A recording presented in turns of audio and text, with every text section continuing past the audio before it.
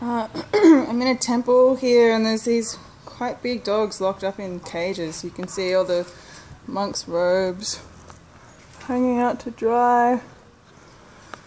Um, yeah, it kind of sucks. They're looking pretty forlorn, and they bark pretty viciously, which no wonder. But they're angry if they're locked up like this. I don't know if they're locked up like this all the time, but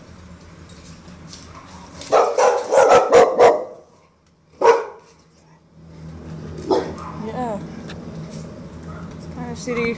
When I was in Thailand before, I worked at a volunteer centre for wildlife rescue and we rescued some monkeys from a temple that had been kept in cages that hadn't been opened for five years.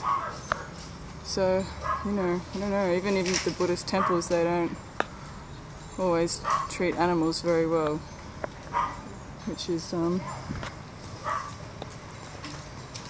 pretty disappointing. Yeah, look at this place, beautiful. It's got some prisoners in the back.